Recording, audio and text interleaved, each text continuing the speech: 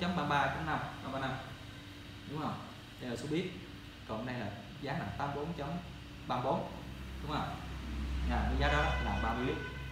Ha 31 30 cũng gần nhau không có gãy đâu. Nhà giờ thống nhất là giá 84.34 đúng không? Dạ rồi tức là giá nó cao thì là lỗ. Giá lên đi nữa là lỗ đi lên là lỗ.